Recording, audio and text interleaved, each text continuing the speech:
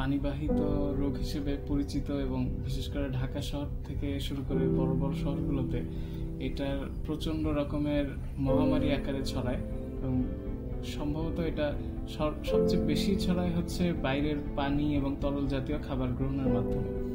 তো এই রোগটা সম্পর্কে মানুষের মধ্যে সচেতনতা অনেকটা কম থাকায় আজকে আমরা এই রোগটার প্রতি একটি সচেতনতা তৈরির জন্য আমরা একজন টাইফয়েডে আক্রান্ত ব্যক্তির সাথে কথা বলতে আসছি।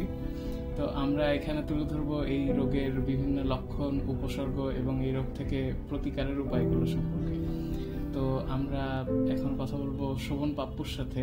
সে এরই মধ্যে রোগ থেকে পরিত্রাণ পেয়েছে এবং দীর্ঘদিন চিকিৎসা নেওয়ার পর সে এখন যথেষ্ট সুস্থ। তো চলুন শুনে নেই তার মুখ থেকে কিছু কথা। টাইফয়েডের লক্ষণটা কি? লক্ষণ আসলে প্রথমে তো আমি বুঝতে পারিনি যে আমার টাইফয়েড হয়েছে। প্রথমে আমার প্রচুর জ্বর হতো। প্রথম এক সপ্তাহ আমি জ্বরে ভুগেছি। আমার জ্বরের উম, তাপমা আমার শরীরের তাপমাত্রা একশো তিন ডিগ্রি থেকে একশো চার ডিগ্রি পর্যন্ত। তখন প্যারাসিটামল খেতাম। প্যারাসিটামল খাওয়ার পর আমার জ্বরটা কমে যেত। আবার ঠিক তিন চার ঘণ্টা পরে আমার আবার জ্বরটা ফিরে আসতো। এবং প্রচুর শরীরের মধ্যে খারাপ লাগতো।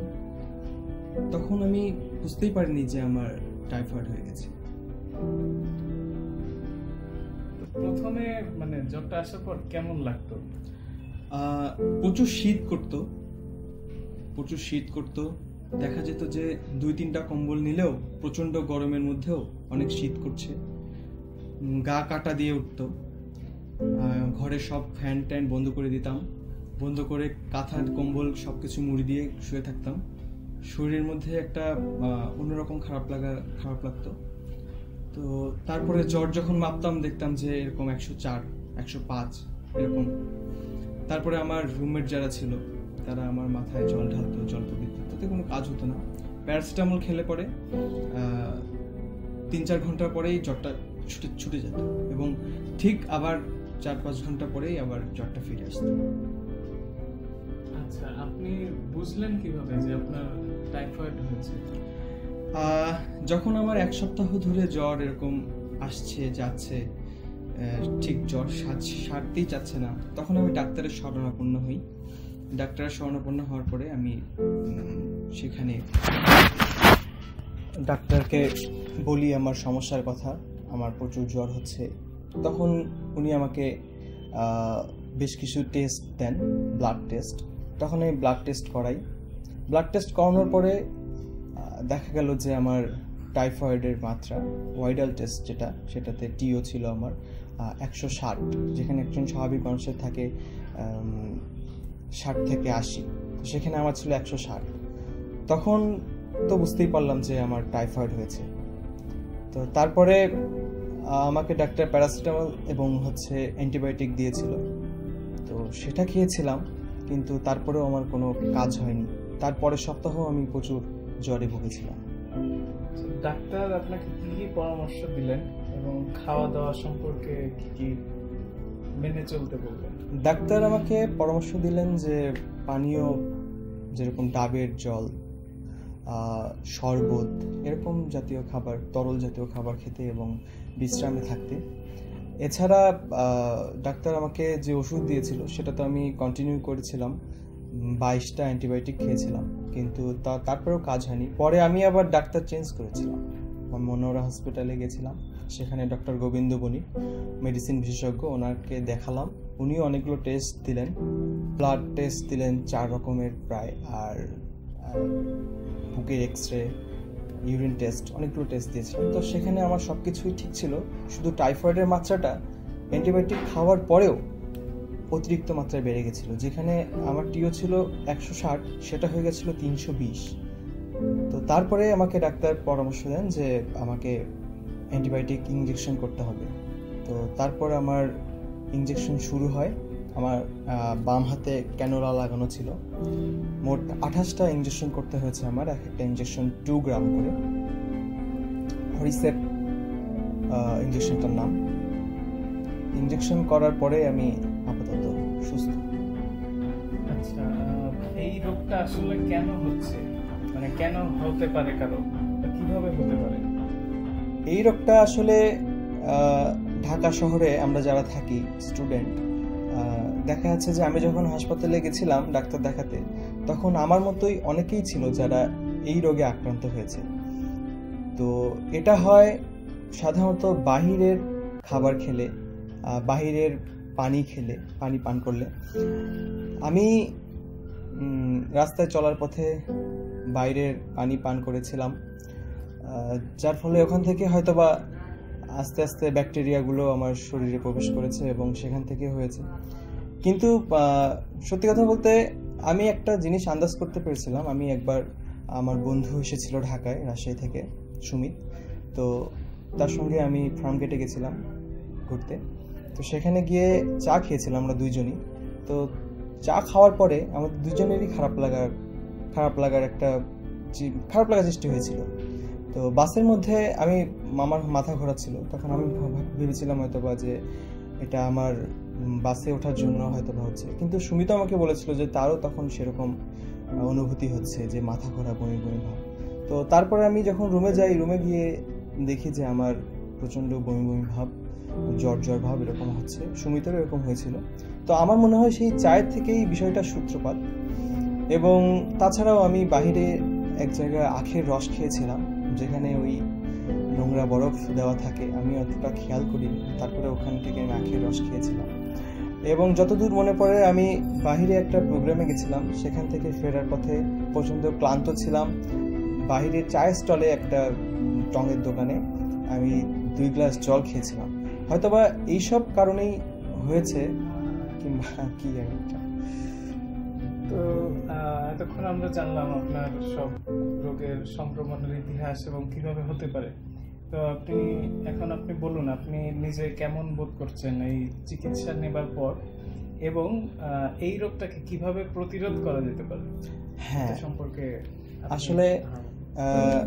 আমার মতে জ্বর হলেই এখন জ্বর হলেই ডাক্তারের শরণাপন্ন হওয়া উচিত। ডাক্তারের পরামর্শ নিয়ে চিকিৎসা করা যে ডাক্তার ডাক্তারের কাছে গিয়েই চিকিৎসা করানো উচিত। জ্বরটাকে অবহেলা করা একদমই উচিত নয়। দেখা যাচ্ছে যে সামান্য জ্বর থেকে অনেক বড় মারাত্মক রোগ হতে পারে। আমি চিকিৎসা নেওয়ার পরে এখন বর্তমানে পুরোপুরি সুস্থ। তাও পুরোপুরি সুস্থ কিনা এটা আমি বলতে পারছি না, কেননা আঠাশটা ইঞ্জেকশন হয়েছে, তারপরেও আমাকে টেস্ট করতে হবে। যদি আমার শরীরের ব্যাকটেরিয়া থেকে থাকে, তাহলে আবার আমাকে অ্যান্টিবায়োটিক সেবন করতে হবে। সেক্ষেত্রে আমি বলতে পারছি না যে আমি সম্পূর্ণ সুস্থ। টেস্ট করার পরে সেটা দেখা যাবে। কিন্তু আমার শরীরের মধ্যে এখন সেই খারাপ লাগাটা আর কাজ করছে না। আমি স্বাভাবিকভাবে চলাচল করতে পারছি। এছাড়া প্রতিরোধ যদি বলতেই হয়, আসলে এটা আমার থেকে ডাক্তার ভালো বলতে পারবে। তবে আমি এটুকু বলতে পারি যে, বাইরে চলাচল করার সময় অবশ্যই বাইরের জল খাওয়া যাবে না। বাইরের পানীয় যেরকম লেবু শরবত, আখের রস, এগুলো পান করা থেকে বিরত থাকতে হবে। বাইরে চা পান করলেও সেটা কতটা সেটা চা, চাটা কতটা ভালোভাবে তৈরি করছে এটা না যাচাই করে আসলে পান করাটা একদমই উচিত নয়। এবং যদি খুব জল পিপাসা লাগে, সেক্ষেত্রে মিনারেল ওয়াটার কিনে খাওয়া আমার মতে এটাই হচ্ছে এইসব মেনে চললে হয়তোবা এইসব রোগ থেকে মুক্ত পাওয়া যাবে টাইফয়েড আমার জানার মতে পানিবাহিত রোগ। আমরা যারা বাইরে বেশিরভাগ সময় ঘোরাফেরা করি, বিভিন্ন কাজে বাইরে যাই, জলটা অনেক সময় খেতে হয় বাইরে তো আসলে শুধু জলে না গ্লাস আমরা যখন বাইরে গ্লাসে ব্যবহার করি গ্লাসটা হয়তো আগে কোনো টাইফয়েড রোগী সে জল পান করতে পারে। ওই ওই থেকেই ওই জীবাণুটা ওই গ্লাস থেকেও অনেক সময় আসতে পারে। তাই আমাদের সাবধান হওয়া উচিত। গ্লাসটা আসলে শুদ্ধ আছে কিনা এটা সবারই এই ব্যাপারে লক্ষ্য রাখা দরকার। আসলে টাইফয়েড জ্বরটা আসলে আমাদেরকে অবশ্যই সচেতন হতে হবে। কারণ টাইফয়েড জ্বরটা এটা খুবই একটা মারাত্মক জ্বর। এই জ্বর সম্বন্ধে যদি আমরা সচেতন না হয় তাহলে আমাদের পরিণতি ভয়াবহতার দিকেই যায়। এবং এই জ্বরটা একবার আসে, আবার যায়।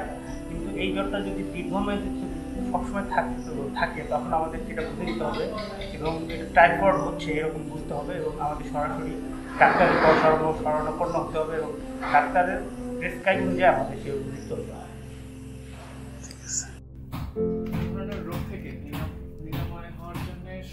সর্বোচ্চ সাবধানতা অবলম্বন করা উচিত।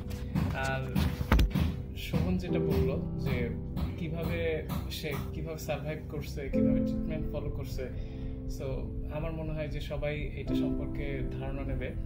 আমরা আরও বিভিন্ন জায়গা থেকে বিভিন্ন তথ্য সংগ্রহ করেছি রোগ সম্পর্কে, সেগুলো সেগুলো আপনারা দেখলেন এই ভিডিওতে।